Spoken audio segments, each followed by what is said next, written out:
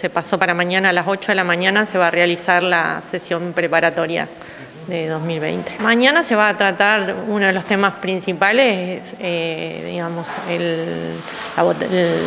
la, elección o la votación sobre los pliegos para que pueda asumir el concejal suplente. Hay dos dictámenes de la Comisión de Poderes, eh, esos son los dos dictámenes que se van a tratar.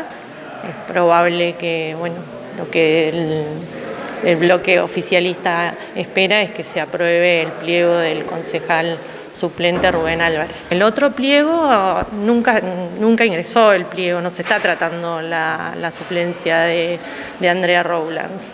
La Comisión de Poderes se reunió en diciembre, evaluó el, pliego del concejal suplente Rubén Álvarez, que es el que seguía en la lista. Uno de los pliegos, uno de los dictámenes que saca la Comisión de Poderes es que dice que no se puede tratar por la ley de cupo.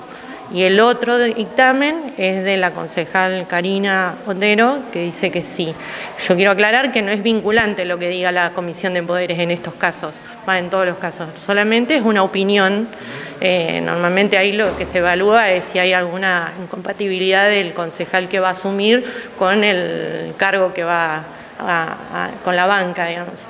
Eh, así que bueno, mañana se tratará eso principalmente como para que nosotros en la primera sesión eh, de consejo en marzo ya estemos, ya estén todas las bancas cubiertas y estén dada la representatividad del pueblo que votó. ¿no? El debate está, eh, por supuesto que sabemos cuáles han sido eh, las opiniones que se han dado en forma pública de la oposición con respecto a esto, pero bueno, esperamos que mañana eh, se pueda aprobar en forma unánime y que eh, se dé la representatividad en el, Consejo que es necesaria para, que se pueda gobernar democráticamente. El oficialismo desde un principio dijo que, eh, llevó adelante esto pensando que el que debía cubrir la vacante era el concejal Rubén Álvarez, que es el que sigue en la lista seguimos con esto de este tema de la ley de cupo. Nosotros siempre hemos dicho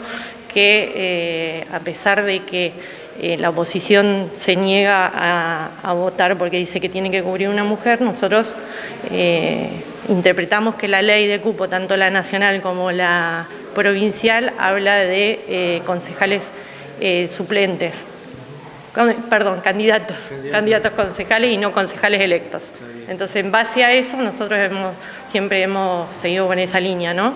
que el que debe cubrir la, vacante es el concejal Rubén Álvarez por el orden de la lista. En la, en la, sesión preparatoria se vuelve a elegir presidente y vicepresidente, por eso la sesión preparatoria la, la preside el concejal de mayor edad, que en este caso es Juan de Betac. La apertura de las sesiones eh, ordinarias se calcula que va a ser el 9 de marzo.